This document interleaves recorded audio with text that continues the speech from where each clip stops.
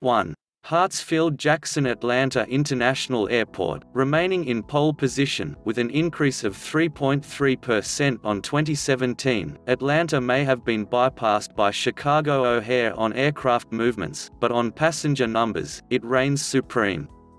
Retaining the title since 1997, it looks like ATL is going nowhere for now. Total passengers, 107,394,029. 2. Beijing Capital International Airport, retaining its place at number 2, Beijing has seen an increase of over 5% since 2017, but as Beijing Daxing nears completion, competition in the area is surely set to increase. I wonder if we will see more than one Beijing-based airport this time next year? Total passengers, 100,983,290. 3. Dubai International Airport, remaining in the bronze medal position, Dubai continues to grow as an airport.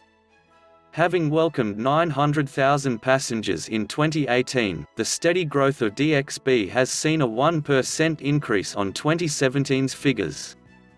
As Dubai continues to be a very popular holiday destination we expect DXB to remain in the top 5 for years to come. Total passengers, 89,189,387.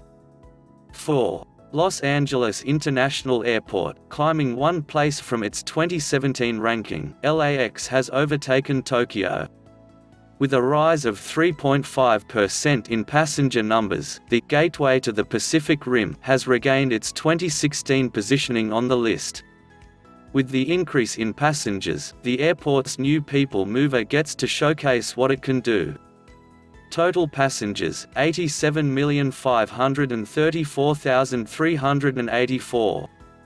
5. Tokyo Haneda Airport, dropping one place, Tokyo saw a rise of a mere 2% in passenger numbers.